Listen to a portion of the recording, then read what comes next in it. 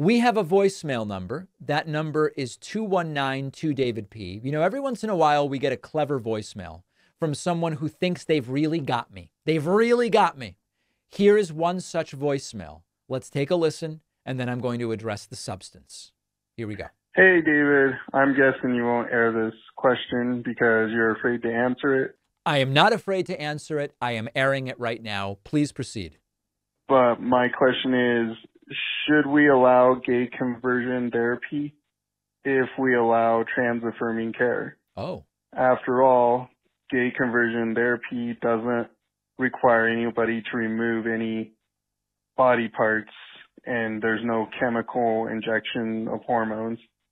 And from what I understand, it's voluntary. So I think it's hypocritical for liberals to say that they want trans affirming care, but not gay conversion therapy. They say gay conversion therapy is dangerous. So I'm curious what your thoughts would be on that, or if you're actually, my guess is you're, you probably won't answer the question. All right. right. This guy thinks he's got me so dead to rights that I just am not going to tackle this question because obviously there's no sensible way to answer it. So here's a super simple answer. Question is How can someone be for gender affirming care and against gay conversion therapy?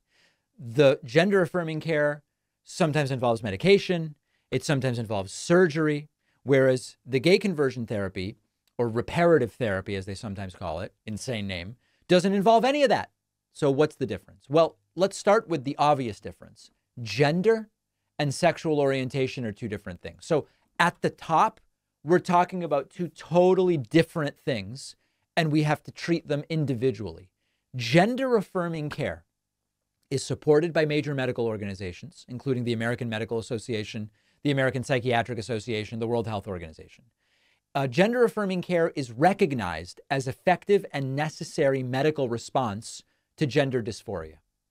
Gay conversion therapy, also known as conversion therapy or reparative therapy, lacks any scientific validation, is broadly condemned by the very same medical and psychological institutions that say gender affirming care seems evidence based.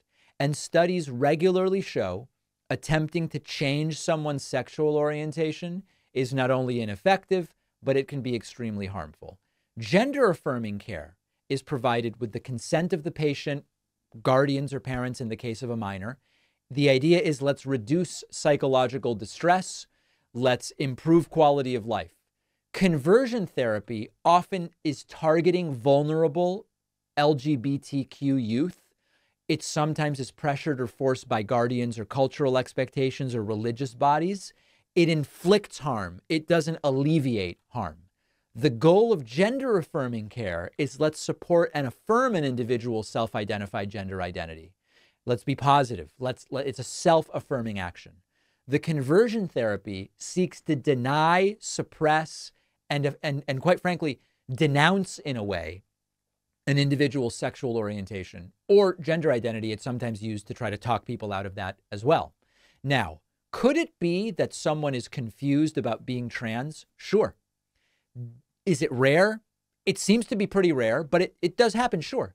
That doesn't really prove anything. And it doesn't really bridge the laughable gap between the validity of gender affirming care and the absurdity of gay conversion therapy. So there's no gotcha here.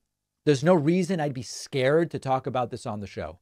Now, I am very open to the idea that there is an element here of individuals who are struggling with something in their lives and their belief about what the solution is gets drawn to something that is in the media. I don't want to make any offensive comparisons, but what I will tell you is I've known people who, in times of difficulty, started to believe that their diet was the problem.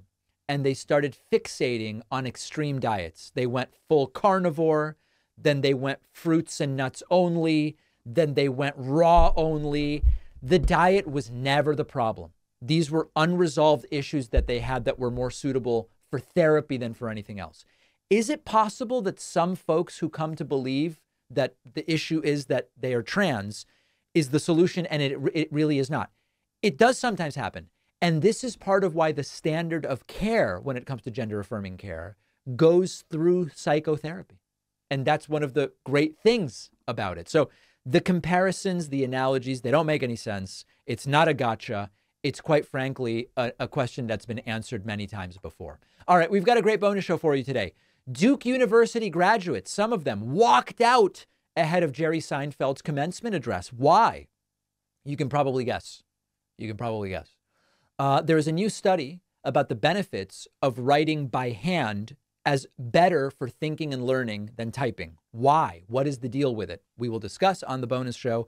And mass shootings are also down 29% from last year, year over year. What's the cause? What's going on with that?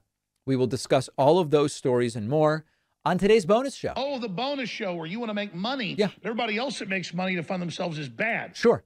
All of those stories and more on the bonus show. Get instant access by signing up at joinpakman.com. I'll see you then. We'll be back tomorrow as well.